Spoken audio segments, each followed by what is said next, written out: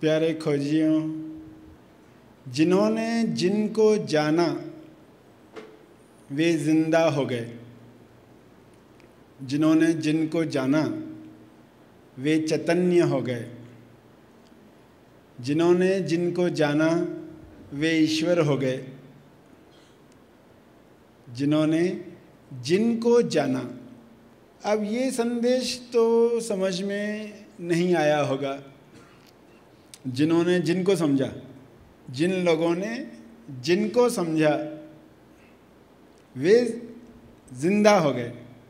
तो शब्दों को नए ढंग से देखेंगे तो बात समझ में आएगी।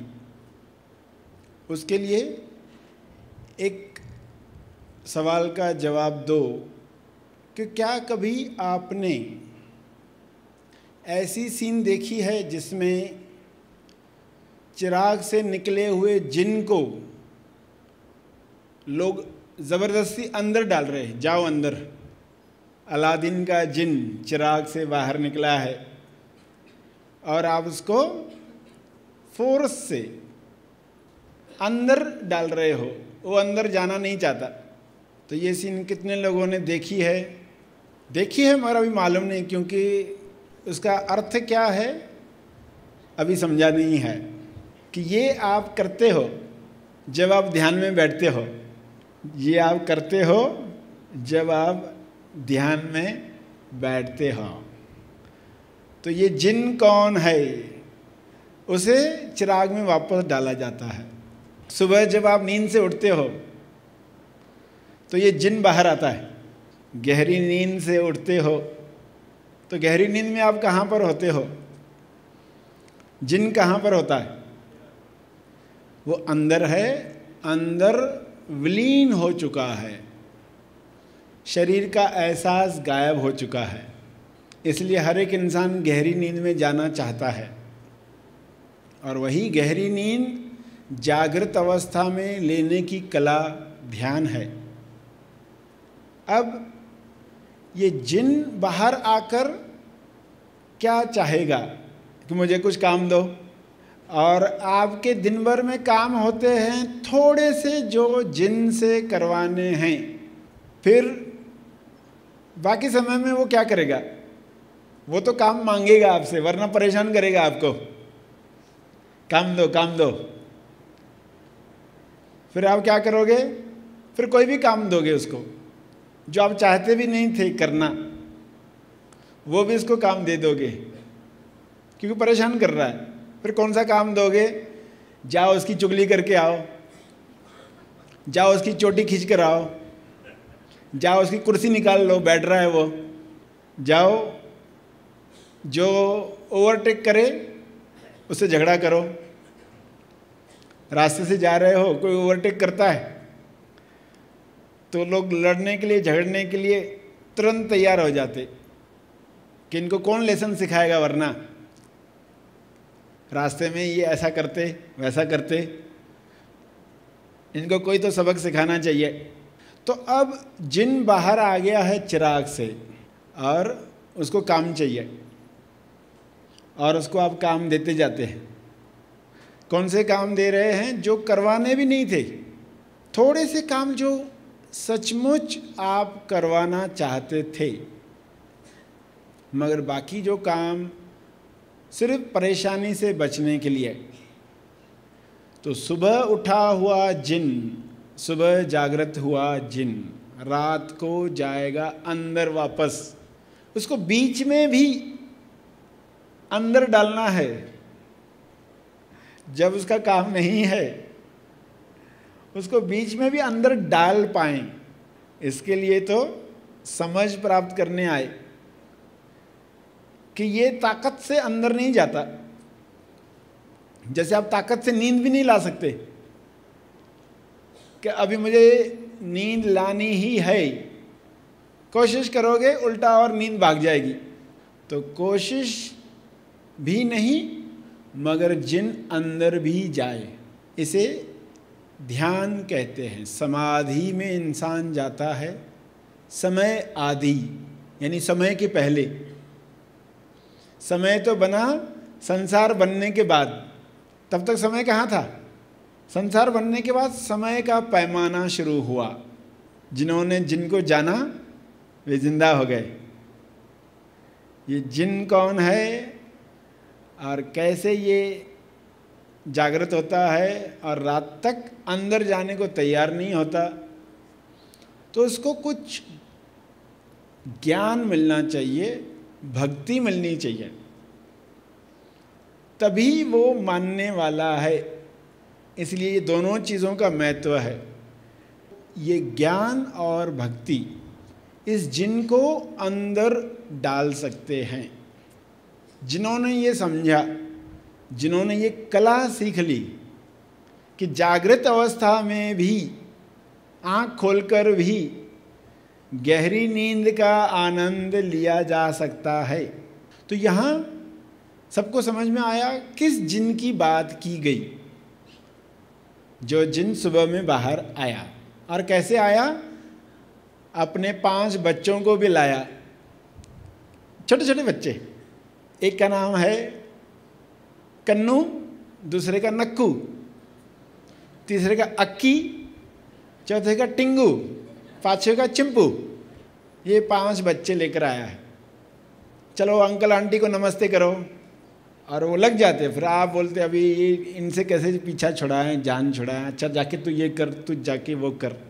तो ये आपको एनोलॉजी में बताया जा रहा है, कहानी में, कि एक चिराग है, इसमें किसी जिन निकला, आप अंदर डालना चाहते हो, नहीं जा रहा है, फिर उसके पाँच बच्चे हैं तो जब भी ऐसे उदाहरण बताए जाते हैं तो आप तुरंत समझ जाए, ये किसी और की कहानी नहीं है। ये हमारी कहानी है। ये रोज़ आपके साथ हो रहा है। पाँच बच्चे बाहर आते हैं, सभी बोलते हैं, मुझे काम दो काम दो। या, चॉकलेट दो। तो कन्नू का चॉकलेट क्या है? कान। कन्नू का चॉकलेट, मुझे अच्छी म्यूज़िक सुनाओ। अच्छा अच्छा कुछ तो सुनाओ। कोई तारीफ़ ही कर डाले। सारे शहर में आप सा कोई नहीं। कोई तारीफ़ ही कर डाले। उसका चॉकलेट है वो। कुछ तो अच्छा अच्छा म्यूज़िक थोड़ी भी खरखर हुई तो थोड़ा भी कोई घिस रहा है तो कैसी आवाज़ निकाल रहे हो? तुरंत नहीं चाहिए। तो कन्नू, नक्कू क्या करता है? नाक। सुगंध। अच्छी अच्छी सुगंध आनी चाहिए। थोड़ा भी दुर्गंध आई तो परेशान शुरू, डांटना शुरू, नक्कू, दूसरा, अक्की अक्की यानी आँख। अच्छे अच्छे दृश्य दिखाओ। अच्छे अच्छे दृश्य दिखेंगे तो मैं शांत रहूँगा, वरना नाराज़ होऊँगा, वरना पटकूँगा चीज़ें। तो अक्की है। टिंगू है टंग, ज़ुबान। ज़ुबान को टंग कहते हैं, टिंगू है। कितना टिंगू है? छोटा सा। मगर कितना हैरान करके रखा है। क्योंकि दो दो चीज़ें जुड़ी है उसके साथ तो। एक स्वाद भी चाहिए और बड़बड़ भी करनी है। चुप भी नहीं बैठना है। तो कुछ तो बोलते रहना चाहता है। मेरी सुनो। मैं जो बोलूँ वो सुनो। तो ये टिंगू है। चिंपू यानी चमड़ी। त्वचा। इस त्वचा पर क्या चाहिए? अच्छे स्पर्श चाहिए। गादी हो, सोफा सेट हो, अच्छी हवा हो, एसी हो, जो वातावरण में अच्छा स्पर्श मिले, वो चाहिए। वो किधर मिलेगा? वो यही खोज रहा है। तो ये पाँचों बच्चे और मन्नू, जिन। मन्नू जो है, जो कन्नू को, नक्कू को सबको लेकर आया है। ये मन्नू, अब ये दिन भर में चल रहा है। और उसमें आप भी हो, आप जो एक्चुअल हो, अब आप रात तक इंतज़ार करते, कब ये जाएँगे, थोड़ा चैन मिलेगा, आराम मिलेगा, नींद की गोलियाँ खा खा कर भी लोग आराम में जाना चाहते हैं। क्योंकि ये ओरिजिनल अवस्था है, ये आपका होना है। जब जिन अंदर गया है इसलिए इतना प्यार है हर एक को नींद से। डरावने सपने आते तो परेशान होता है। ये सपने ना आए। तो ये समझ में तो आ गया कि ध्यान ही एक ऐसी बात है जो जिनको बीच बीच में अंदर ले जा सकती है। तो जिन को अंदर डालें, विश्वास को प्रकट करें, प्रेम को प्रकट करें। उसके लिए ये बातें आप सुन रहे हो। कि अब मन अंदर चला गया और आप ज़िंदा हो गए। वरना मन को कौन सा काम दोगे? कुछ खोट देखो। आँख है तो क्या खोट देखे लोगों में? चलो उसको ये काम दे दो, अक्की को ये काम दे दो। कान है तो चुगली सुने। ज़ुबान है तो चुगली करे, निंदा करे, इल्ज़ाम लगाए। तो ये इंद्रियों को काम नहीं देना है। जिन जो है, ये कैसे मरे? और उसके लिए आप आज समझ रहे हो, आप जाग रहे हो। हर दिन सुबह में जिन बाहर आता है, वो बाहर आएगा। बाहर ही नहीं आए, ये जिद करो ही मत। आने दो। स्वीकार है। स्वीकार के साथ, चलो अगला कार्य क्या हो सकता है? मुझे कैसे तैयार होना है? पहले ही होमवर्क करोगे तो संभाल पाओगे। वरना जिन आकर खड़ा हो गया काम दो, अभी आपने होमवर्क किया ही नहीं है, कौन सा काम देंगे? फिर बोलते, फ़िलहाल ये करो, फ़िलहाल इसकी चुगली करो, फ़िलहाल निंदा करो, फ़िलहाल ये करो, फ़िलहाल वो करो। पहले ही होमवर्क किया है तो कि मैं सुबह उठकर क्या करूँगा? ध्यान कब करूँगा? अभिव्यक्ति कब करूँगा? कार्य जो है मौका जो है परिवार में प्रेम, आनंद, मौन की अभिव्यक्ति। कैसे मैं करने जा रहा हूँ आज के दिन? और ये ये राक्षस आएँगे, ये ये विकार आएँगे तो मैं उस वक्त कैसे निर्णय लूँगा? ये होमवर्क आपको पहले ही करना होगा। ये होमवर्क है। वरना माया में लोग गए कि रात तक याद ही नहीं आता, मैं कौन? तो ये याद आना चाहिए। सिस्टम बनाओगे, जिन लोगों को सत्य से प्रेम हो गया, वो सिस्टम बनाते ही हैं अपने जीवन में।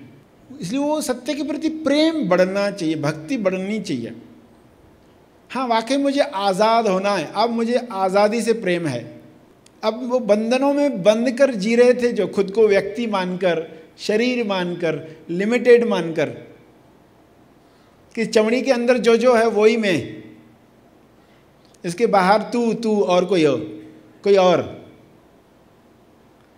कैसी लिमिटेशन आ गई? जब आप एक छोटा आईना देखते हो, पर्स में रखने वाला आईना, फिर वो देखकर आप रोते हो क्या? मैं इतना छोटा क्यों? आप कहते ये तो आईना छोटा है। ये आईना छोटा है, मैं नहीं। जैसे शरीर को आप देखते हो अपने। तो आप कहोगे, ये आईना है। आईना छोटा है। आप नहीं। तो ये जब समझ आएगी कन्विक्शन के साथ, यानी अनुभव के साथ, यानी ध्यान में ये अनुभव लेने के साथ कि शरीर छोटा है लिमिटेड है। मैं नहीं, जो शरीर के द्वारा खुद को जान रहा है, वो अनलिमिटेड है। तो फिर कौन से डर बचेंगे? कौन सी चिंताएँ बचेगी? जब भूल जाओगे, चिंताएँ आएगी, डर आएँगे। याद करोगे? चिंताएँ खत्म। तो क्या कार्य नहीं होंगे? कार्य तो सब होने वाले। कार्य सब होंगे। जो आप करते आए हो, मगर जो फ़र्क हो गया अंदर, पहले दुखी होकर कार्य कर रहे थे, कार्य लेट हो रहे थे, अब खुशी के साथ कार्य हो रहे और जल्दी हो रहे और सकारात्मक चीज़ों की बाढ़ आने लग गई आपके जीवन में। क्योंकि आप चुंबक बन गए, मैग्नेट बन गए। ध्यान की दौलत पाकर आप चुंबक बन गए। चुंबक खींचता है, सकारात्मक चीज़ों को पीतल भगाता है, दुख को ही लाता है। वो दुख को खींचता है। तो हमने ठान लिया कि अब हम ध्यान में बैठेंगे तो यही हमें जगाएगा। चल क्या रहा है? ध्यान में बैठते हो तो क्या पता चलता है? चल क्या रहा है? कैसे विचार चल रहे हैं? क्या क्या मैं सोच रहा हूँ? ये मुझे प्यार नहीं करता, ये ध्यान नहीं देता, ये पार्शलिटी करता है, मुझे कोई देखता ही नहीं, कोई आदर ही नहीं है मेरा। क्या क्या वो बोलते रह अच्छा ये मेरा मेरा बोल रहे, मेरा है कौन पहले? वो तो बता। ये मैं कौन? निश्चित कौन? Exactly what exactly what to home नक्की का है तो आप ध्यान में जाग जाते हो। महा आसमानी निवासी शिविर मनन आश्रम पर आयोजित किया जाता है। इस पाँच दिवसीय शिविर में खोजी केवल सत्य श्रवण द्वारा आत्म साक्षात्कार की मंजिल तक पहुँचता है। स्व अनुभव की इस यात्रा में खोजी को मैं कौन हूँ? इस पृथ्वी पर क्यों आया हूँ? मोक्ष यानी क्या? क्या मोक्ष इसी जीवन में संभव है? इन सवालों के जवाब अनुभव से प्राप्त होते हैं। अब आइए हमें खोजी से इस शिविर के बारे में उनके अनुभव जाने। मैं वर्तमान में कभी भी नहीं रहती हूँ। यहाँ से आने के पहले मैं वर्तमान में कभी मेरे विचारों में इतनी गुंता गुंती रहती है, इतना गुंता गुंती कि मैं काम भी अगर करती रहूँ, हालाँकि मैं खाना अगर बनाती हूँ तो अच्छे से पकाती हूँ, विचारों में भी रहूँ तो। लेकिन मैं विचारों में ही रहती हूँ, हाथ से कार्य करती हूँ, विचारों में ही रहती हूँ। कभी मैं हमेशा भूत या भविष्य में ही रहती थी, पर यहाँ आने के बाद में मेरे विचारों में मतलब संबंधी ही गए विचार मेरे वो। और जो भी आते थे अच्छे अच्छे आने लगे विचार मेरे। हाँ। ये बात तो मैं नक्की ही मेरे क्योंकि ये वाली समस्या शायद मेरे को लगता है हर किसी को होती होगी हर किसी को रहेगी। तो मैं ये वाली बात तो सभी को बताऊँगी कि ऐसे ऐसा ये है और आप ये शिविर ज़रूर करो तो आपको ज़रूर यानी लाभ होएगा करके।